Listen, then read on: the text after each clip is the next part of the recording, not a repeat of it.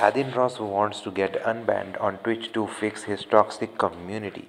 Yes, streaming star Adin Ross has officially returned to Kick after a lengthy hiatus from social media, uh, revealing that his new goal is to get unbanned on Twitch. Adin Ross might be the face of Kick, but he's keen on returning to Twitch, as told in his return broadcast on July 23 after nearly two months of being absent from the internet.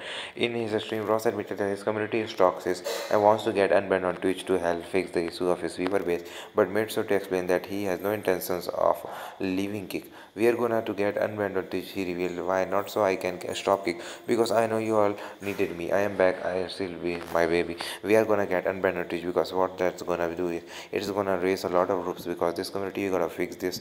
Bro we are toxic. Uh, we are gonna fix this. We're gonna figure it the out. As you can see Adin Ross said these things. That's all. We're gonna we're gonna go to get unbanned on Twitch. Why? Not so I can stop kick. Because kick I know y'all motherfuckers needed me. I'm back. And this is still my baby and without AR Loyals, there's no kick.com. And I swear to God, I mean that. We're going to get unbanned on Twitch. Because what that's going to do is going to raise a lot of, a lot of, a lot of roofs, whatever the fuck you want to call it. Yes, Because like where's Twitter stream? Where's Future stream? Fix this shit, Where's bro. Uzi stream? Where's Travis stream? Get me some and people we're gonna, on my we're gonna, stream, we're gonna fix this shit. We're gonna figure the fuck out.